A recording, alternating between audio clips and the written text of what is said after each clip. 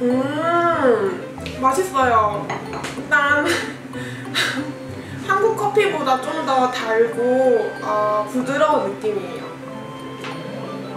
음, 맛있어요. 우리나라에 있는 맥심이랑 비슷한 맛이에요.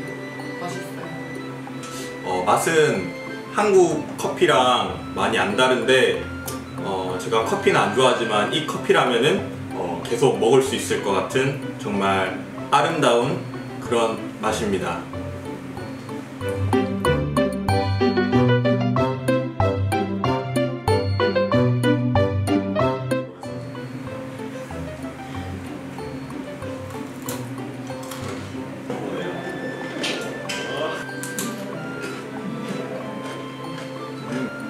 와 리얼이었어 리얼이었어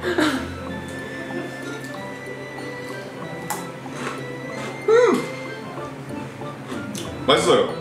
맛있어요. 진짜 맛있어요. 진짜 맛있어요. 아 제가 다 먹어도 돼요?